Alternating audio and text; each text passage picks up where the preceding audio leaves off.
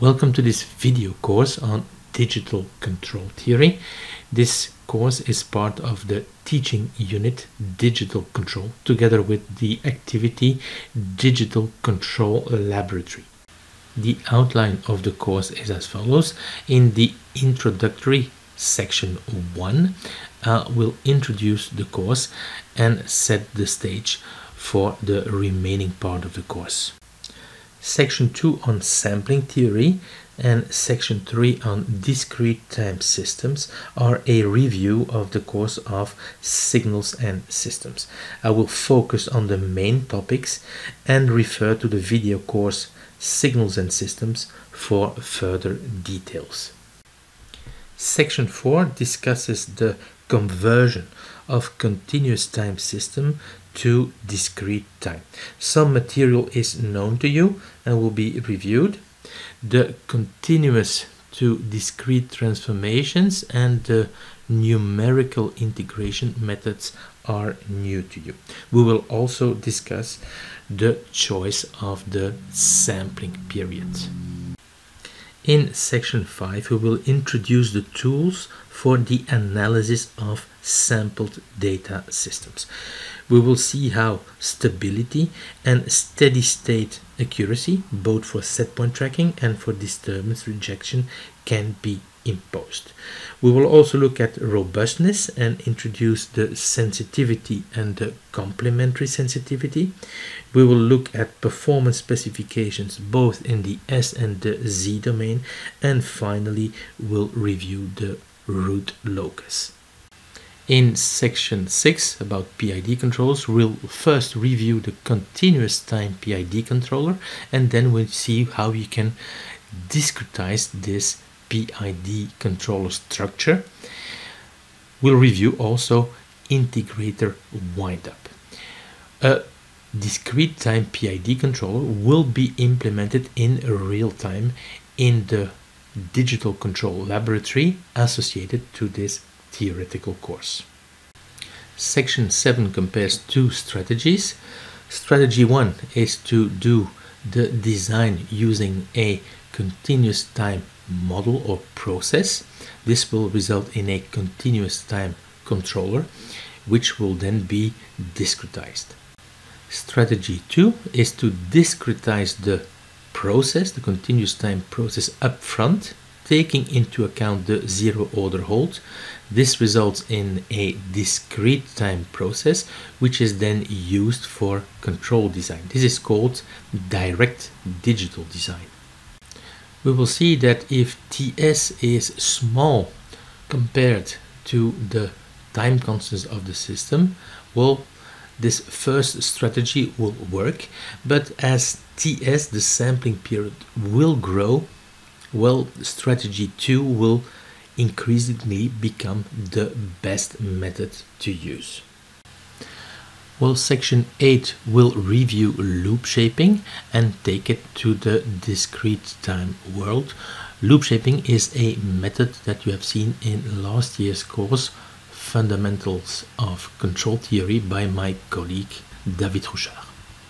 Section 9 introduces Ragazzini's method, also known as model reference control. The behavior of the closed loop system is imposed using a desired closed loop reference model. We will see that we have to take precautions when we design this desired closed loop reference model because we have to prevent intersample hidden oscillations. In section 10, the desired closed loop reference model evolves from a transfer function to a polynomial in z minus 1. This results in a finite settling time. When in addition we impose the controller output to settle in a finite time, we obtain the so-called deadbeat controller and this is covered in section 11. Section 12 introduces the 2 degree of freedom RST controller.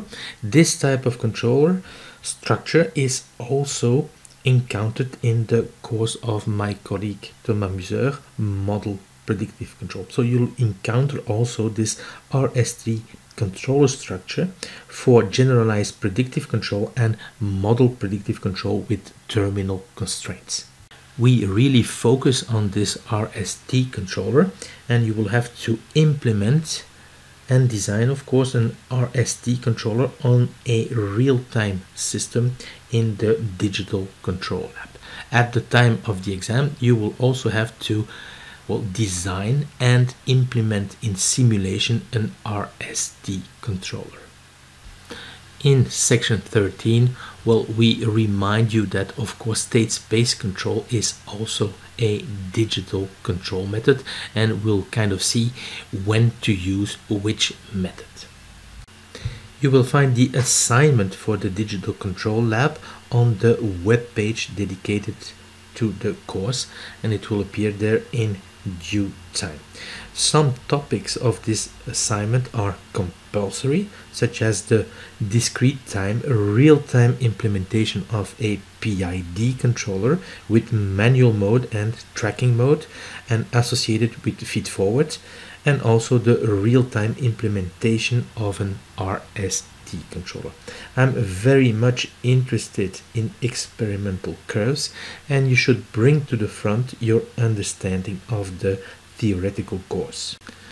As usual, elements of originality are always welcome. There are plenty of opportunities to be original as there are plenty of algorithms that you can implement on the laboratory setup such as loop shaping, deadbeat control and so on. The exam covers all material, so all slides except of course those with the logo for your information, the classroom course if there is one, the video course and everything that you've done in the digital control lab assignment. The exam consists of two parts. The first part is a closed book theoretical exam. The second part is an open book exam on a PC with MATLAB and Simulink. You can expect applications of the course and the digital control lab in MATLAB and Simulink. If you see typos, mistakes, if you think that the course can be improved on, do not hesitate to contact me, preferably by email. I will really welcome this. MATLAB and also Simulink are important tools for this course on digital control. Make sure that you bring your PC with a pre-installed version of MATLAB and Simulink at the first and all other digital control labs. Take the time to do the lab assignment by yourself so that you know what you're doing at the time of the exam. The following references have been used in the construction of this course. The one that you see in bold, the books of Roland Longchamp, Commande numérique des systèmes dynamiques, are the reference books used for the section on the RST controller. And for once, it's a reference in French, so it could be that you appreciate this. If you have a look at the slides of the course, you will see that I have skipped quite a few slides on mathematical foundations. These slides concern complex numbers, exponentials, and logarithms. If these concepts are not foundations for you, you should go and have a look at the video course of signals and systems. I've also skipped the proof on how you can obtain the result that you find here in the frame box.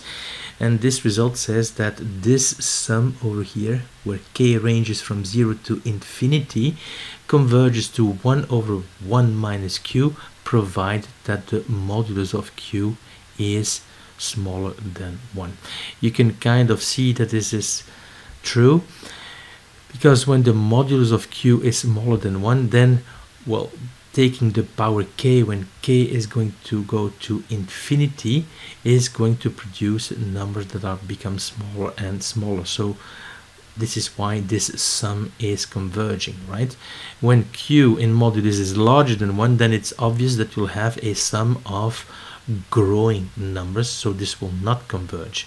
And as you can see if q is in modulus smaller than 1 but tends to 1 well we'll have here a sum that will grow and this is what you see over here.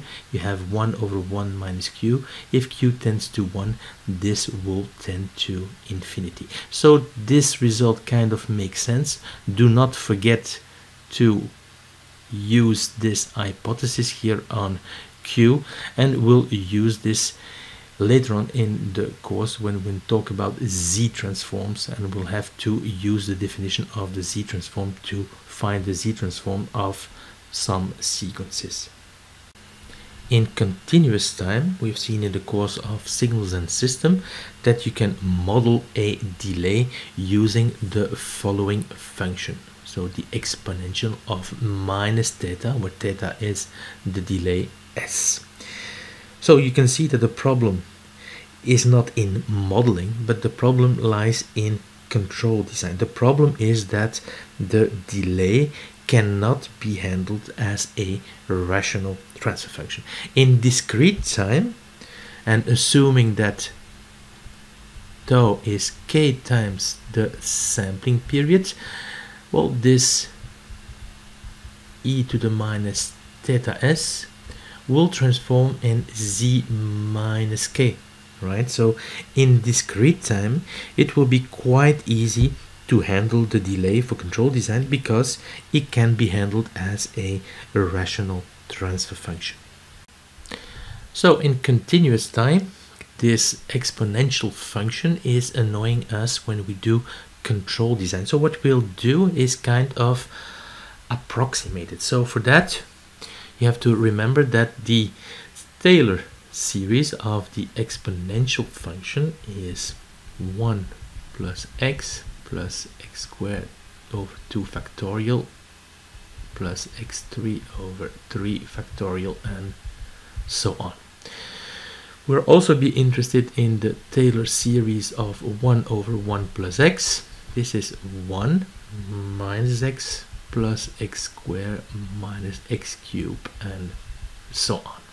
So what we do is use this Taylor series and approximate this by the following polynomial right and you can see that this one is approximately equal to well 1 over theta s plus 1 so what you can do and this can be viewed as a Padé approximation of order 0 is replace the delay by a 0 right? It will be a 0 that is on the right side of the imaginary axis or you can implement it as a first order system. Okay remember here that of course theta is positive right it goes without saying that this expression is valid only for small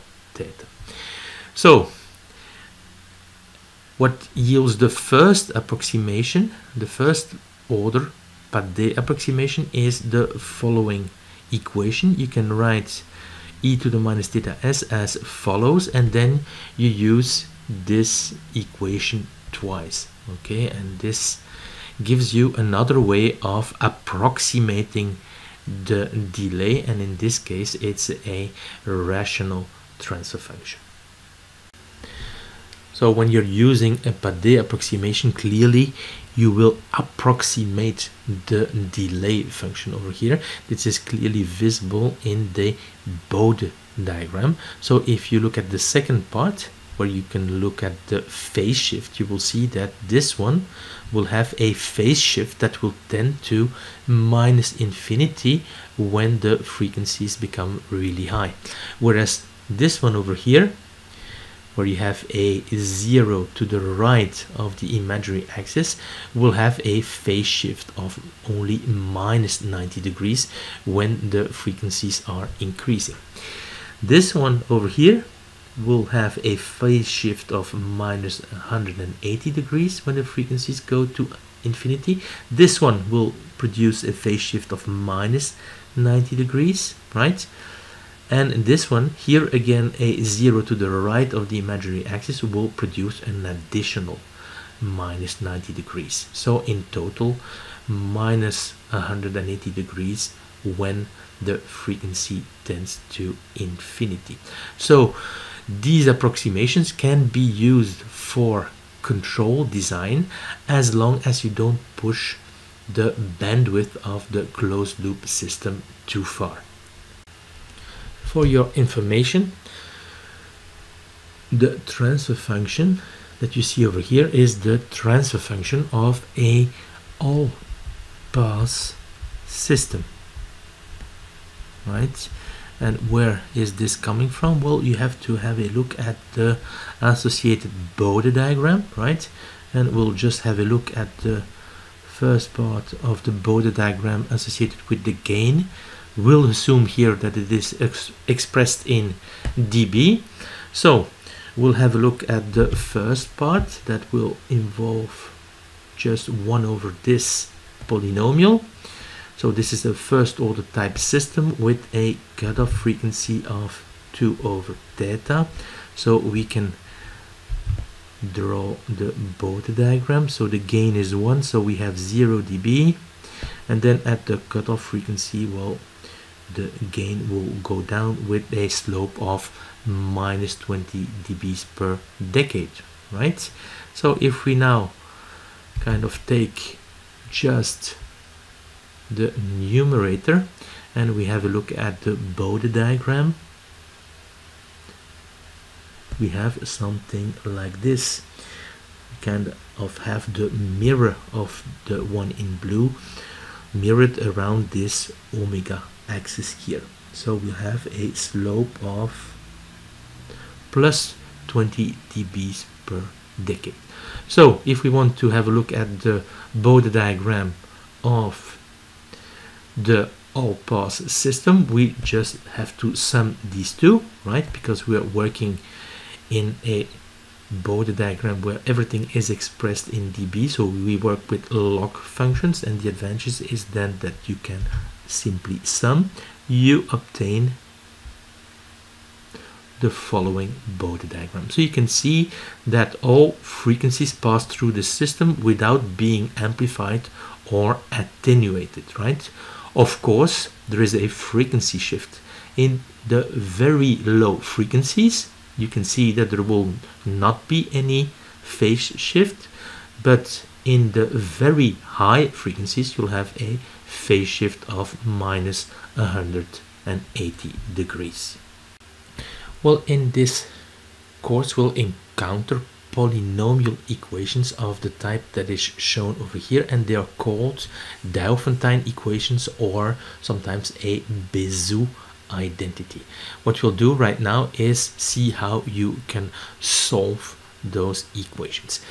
In the framework of this course, the A, B, and C polynomials will be known. So the unknowns are the R and S polynomial, but the degrees of those polynomials are fixed so that you can obtain a unique minimal degree solution. Why do we say unique minimal? Well, the reason is that when you have a solution R0 S0 you can find and we'll assume that these are the unique minimal degree solutions well you can find polynomials of higher degree that are also a solution and they are given by the following polynomials. Okay if you inject that in this equation you will see that this one will yield a z q z b z and this will, will be giving the same term but with a minus sign. So it's quite easy to see that if r0 s0 is the unique minimal degree solution then you can construct other polynomials of higher degree that will also be solutions where qz can be any polynomial. The Diophantine equation will also be encountered in the course of my colleague Thomas Museur, Model Predictive Control, and in next year's course of System Identification. So let us take an example. The polynomials that are known are a, b, c, and a is a third order polynomial, b a first order polynomial, and c is a fifth order polynomial. The two polynomials that are unknown and r and s, and here they're both of degree 2. In reality, well, the degree constraint will come from the control problem.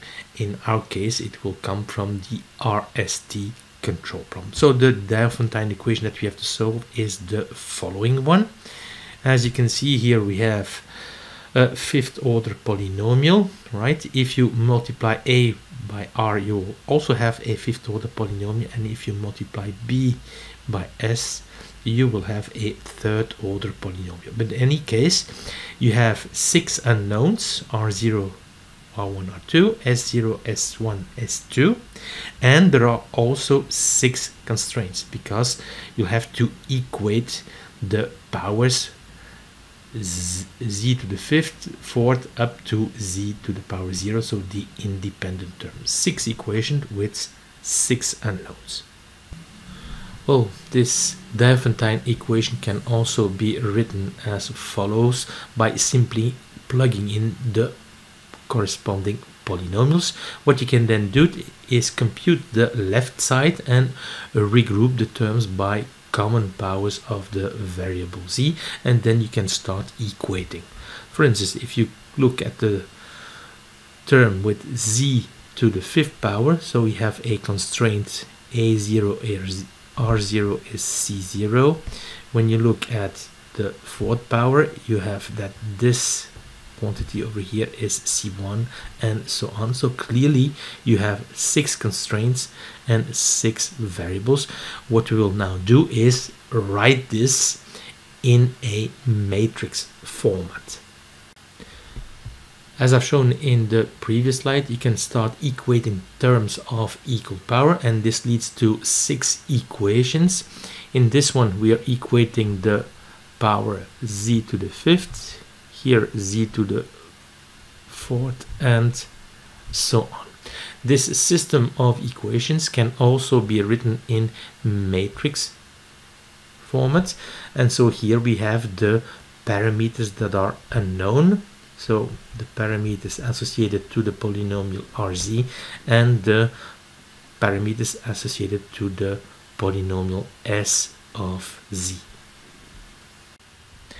The system of equations we end up with here in matrix form can be solved efficiently using Gaussian elimination followed by back substitution. This is something we have seen in the course of linear algebra. So we obtain, in this case here, six equations, right? So in general, it's the degree of r plus the degree of s plus 2. And here the degree of r is equal to the degree of s equal to 2. So indeed, we end up with six equations, okay? The matrix that you see over here is called a Sylvester matrix and it can be obtained directly from the coefficients of the A polynomial and the B polynomials. Okay, so you have, well, degree of R plus 1 columns involving the A polynomial and degree of S plus 1 columns involving the b polynomial and as you can see here there is a structure. You start with the a polynomial and in the next column it's shifted by one element and the next again a shift of one element. For the fourth column over here so the first one related to the b polynomial well b here is seen as a polynomial of degree 3 okay? So that the first two coefficients are zeros. And then again well there is this shifting of the column. So when you apply this when you're going to design an RST controller, you'll end up with a system of equation of this type. So what you should do is always check the structure of this matrix and see if it has indeed this Sylvester between quotes form. Before starting with this course, I want to set the stage and give you a rough idea of what we intend to do. You remember that in last year's course, Fundamentals of Control Theory by my colleague David Hauchard, you have seen that a process can be very well described in continuous time. If the process is linear, then the Laplace or S domain appears to be advantageous in control design. The design control can then be represented by a set of differential equations. Well, in the old days, the continuous time design controller, this is the desired control dynamics, were approximated using pneumatic or hydraulic systems or analog electronics and we'll see an example of that soon. Nowadays of course we work with processors so we have to take into account the discrete time nature of the signals and the fact that the signals are quantized okay? We speak of digital controllers. What you see here is the electronic schematics for an analog PID controller used to control the motor shaft position of a DC motor. You can see here that the proportional, integral and derivative parts are implemented using an operational amplifier. Nowadays, as we've said, we work with processors. They've become the standard of today and they offer a number of well, advantages. One of them is, of course, flexibility. You can really decide to change your control law very easily. It's just a matter of reprogramming everything, compiling and downloading in the processor. Well, also you can implement much more complicated control laws, even non-linear control laws. You will see that control laws are no longer implemented using differential equations, that they are implemented using difference equation. This is something that you will experience also in the associated digital control lab.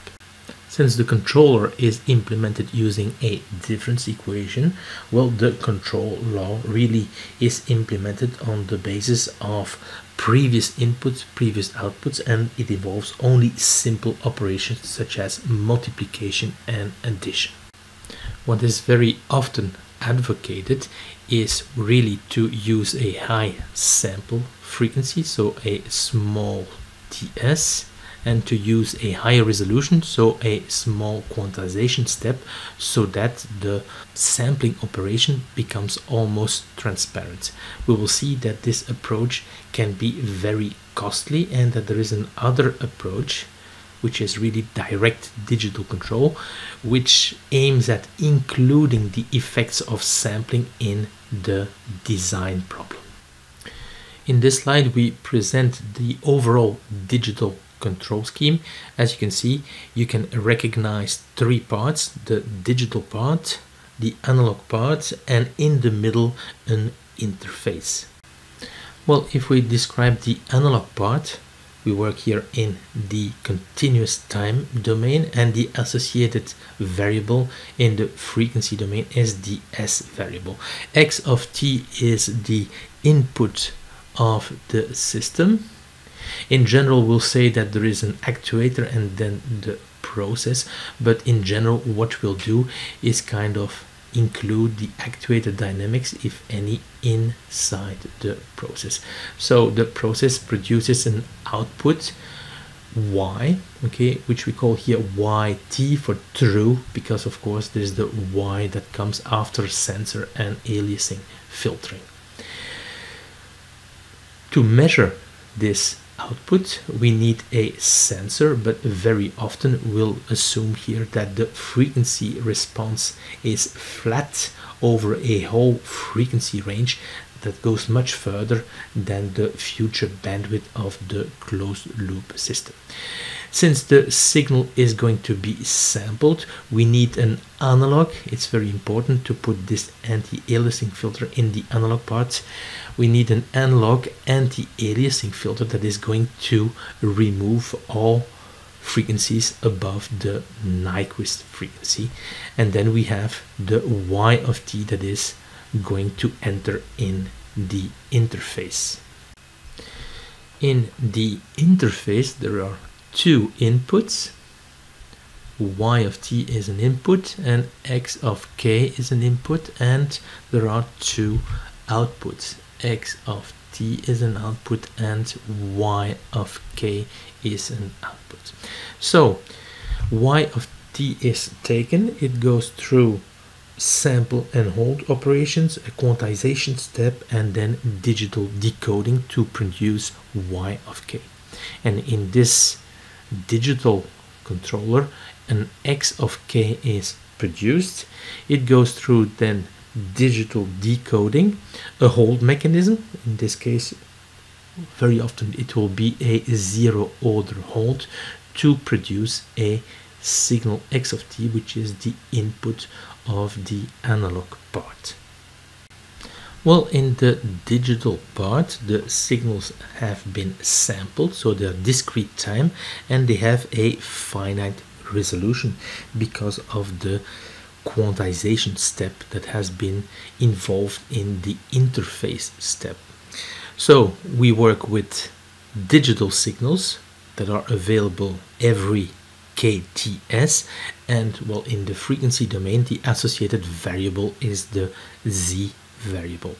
Well, based on y of k and uh, set point r of k, the digital controller produces an output of the controller x of k.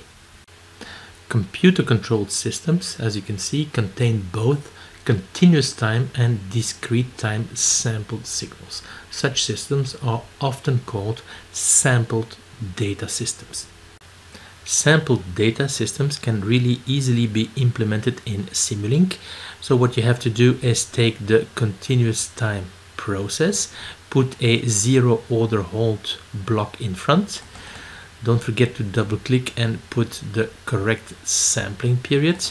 You put a rate transition behind. Again, don't forget to put the correct sampling period, right?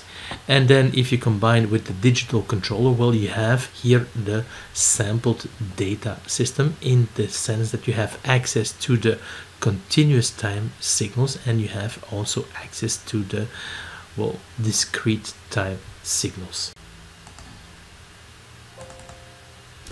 When doing digital controller design you should always test in Simulink and monitor the continuous time signal here in light green to see if there are no hidden oscillations in between sampling instants. This can sometimes happen if the design is not done properly and this is clearly the case over here. We'll come back to that later. But in Simulink, using this sample data system, you can check inter-sample behavior. In some cases, it's sufficient to describe the system only at the sampling instants so that you have the signals of interest only at discrete times. We speak of discrete time systems. Of course, you can also simulate discrete time systems in Simulink. You need the digital controller, you need a digital description of the process, which is really a description that takes into account the zero order hold mechanism, of course, and we'll come back to that later in the course. If you simulate the system, you obtain, of course, only the description of the input and outputs at the sampling instants, right? But this is something that you can do in MATLAB using commands as I will show you now. This is an example of the same result but in MATLAB. Don't forget that the design will be done in MATLAB anyway. So if you're only interested in the result at the sampling instants, stick to MATLAB. So here you have the discrete description of the system. It takes into account the zero order hold. You have the discrete description of the controller and what is done over here is compute the transfer function from R to Y and here from R to U and then it is simulated right? And you have exactly the same results. So in summary you should stick to MATLAB if you're only interested in the description of the system at the sampling instants. And if you're interested in intersample behavior and you should be interested in sample intersample behavior then go to Simulink so in your reports associated to the laboratory assignment test always test the intersample behavior of your designs in the analog dashbox, the actuator and the process are often grouped in one box that we then call process. The frequency response of the sensor and that of the anti-aliasing filter is flat in the frequency region that corresponds to the future bandwidth of the closed loop system. So we can see the conventional analog controller as acting between the output y of t and the actuator input x of t as shown over here and this is really how you did analog control design in last year's course of fundamentals of control theory the analog controller is now substituted by a digital controller. It consists of a programmed digital processor. It receives the reference signal, RK, sometimes called the set point signal, and the process value Y of K, which comes from the interface. It produces a signal X of K, which is then sent to the interface. The role of the interface is to transform the analog signal y of t into the digital signal y of k. This is really analog to digital conversion. Similarly, it transforms the signal xk, which is digital, into an analog signal x of t. This is digital to analog conversion and it needs an hold circuit Usually the hold circuit is a zero order hold which keeps the signal constant on the last value until the next sample switches the signal to another level. The digital controller sees a process with input x of k and output y of k. So it sees the process with the effects of the two conversions analog to digital and digital to analog with the hold mechanism and the major effect of this interface will be that of the hold mechanism very often a zero order hold there are really two approaches to obtain a digital controller. So if you start from a process and we'll call it p of s and p stands for process. In last year's course of signals and systems we would have called it h of s to stress the fact that it's the transfer function and that it's the Laplace transform of the impulse response h of t. Here we'll simply call it p to stress process. Well the first way to obtain a discrete time or digital controller is to design okay a controller c of s by classical means as you have seen last year and then to discretize the controller right and to obtain C of Z. So the approach here will be the first approach the second approach that we'll consider in the next slide is the one that consists in first discretizing the system and we'll obtain a process description in Z and usually we'll take the ZOH equivalent. This is simply meaning that we try to take as much as possible of the behavior of the zero order hold in account and we'll see how to do this later and then we use this description this discrete time description to obtain a digital controller and this will lead to direct digital design and this is the second approach that will be described next.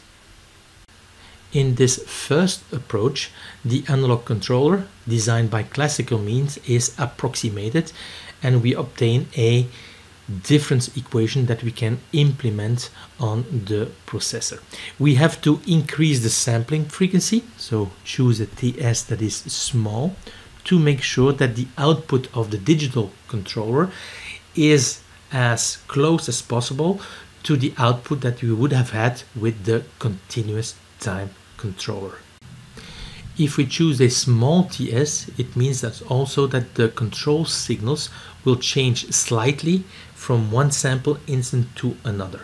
As a consequence, these small changes in both the control output but also the measured output should be representable in the resolution of the analog to digital and the digital to analog conversion.